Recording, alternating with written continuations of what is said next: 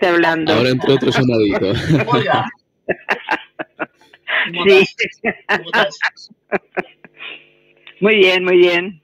Eh, no, pasé a saludar a Aide y siempre con su carácter tan lindo estaba acompañada. Ese día, el día de, de su cumpleaños pasé por su casa y iba a saludar a otra amiga también que cumplía 98 años. Wow. Y está muy lúcida, este, la otra amiga también es increíble, la edad que tiene. Y bueno, lo pasé bien, un momento de Aide muy, muy contenta como siempre. Qué lindo. Eh, Olga, aprovecho para preguntarte rapidísimo, no te quiero quitar tiempo. Agradezco que estés acá en la radio. Em, ¿Le damos tiempo a las cosas? ¿Qué cosas al correr de la vida vos te das cuenta que le diste tiempo y al final surtió efecto darle tiempo a las cosas? Esperar las cosas, que sucedan. Darle tiempo, como las buenas comidas que se hacen lentas. Sí, yo soy de comer lento, sí, me, me dicen siempre que qué lento, que como, bueno, es la forma de, es la forma mía y tratar de hacer, la- hacer las cosas cada vez las hago más lenta, por supuesto, porque me estoy más, más, este, más grande. Pero tratar de disfrutar el momento también.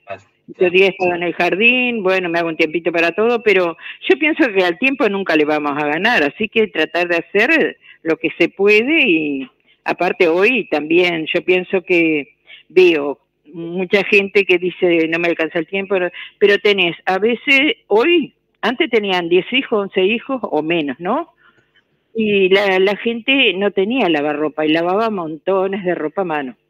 Hoy se tiene todo, todas las comodidades. Yo pienso que, bueno, que el tiempo hay que hacerlo. Por supuesto que se trabaja también. Hoy la mujer trabaja mucho más afuera que antes no se hacía. Esta cantidad Pero de exigencias que antes no teníamos, es como una exigencia del mercado, del consumo. Yo recuerdo la, la velocidad, la velocidad con que cambiábamos, por ejemplo, de, de ropa, eh, que comprábamos ropa, que comprábamos calzado, que comprábamos, eh, no es la misma de hoy. Hoy uno, yo creo que en los últimos 10 años he tenido más campeones que, el, que el resto de mi vida, no sé si me explico. Ahí está, justamente. Nosotros teníamos lo justo y necesario. Lo justo y necesario. A veces, este, cuando éramos chiquitas, estábamos en una situación este, no muy holgada y mi madre cuando nos acostaba a la siesta nos lavaba la ropa en verano, ¿no? Y ya después te, te bañabas y te ponías esa ropa. Ahora tienen, es una exageración para mí, pero cada uno hace lo que, lo que Amontonamos cosas, gusta, ¿no? Amontonamos cosas. Yo no digo, yo no digo, me parece genial que se, que se, que, que todo el mundo tenga, que todos ten- podamos tener una calidad de un nivel de vida, pero a veces lo cambiamos por salud, ¿no? Sí, justamente, justamente. Mucha ropa. Vos ves la ropa mm, por todos lados, vas a un oratorio y, y a- no sé porque ahora este año no, no he ido yo, pero los años que iba, y bueno, la gente salía con 30 prendas de ropa.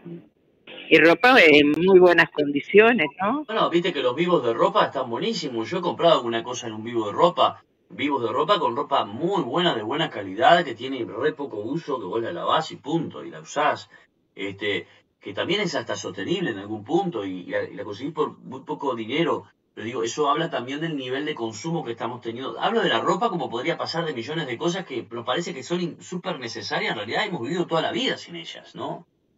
No, a veces quedas asombrada de, de, de cómo la gente se deshace de cosas nuevas que pasa otra persona y las recoge porque están en condiciones.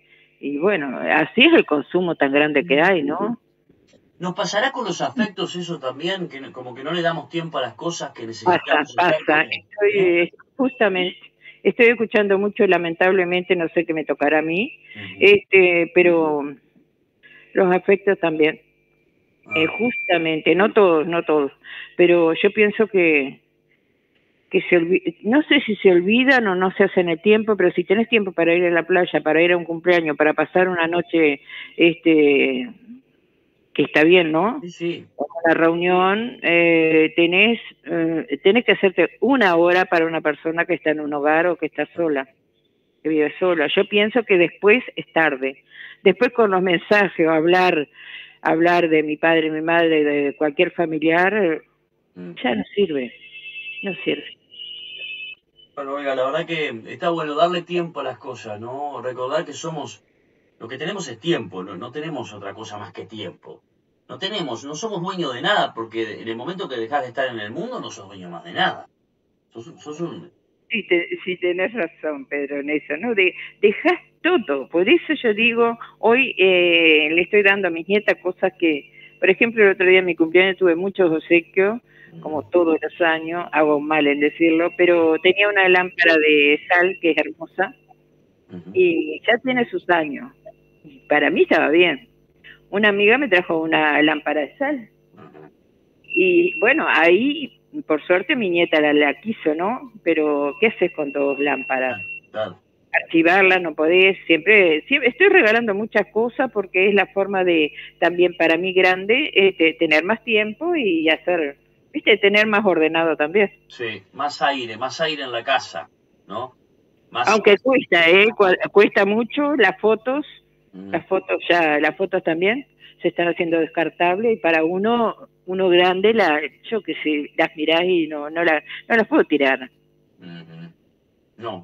te trae muchos recuerdos, ¿no? Bueno, Pedro, eh, saludos para todos, todas las conocidas. gracias.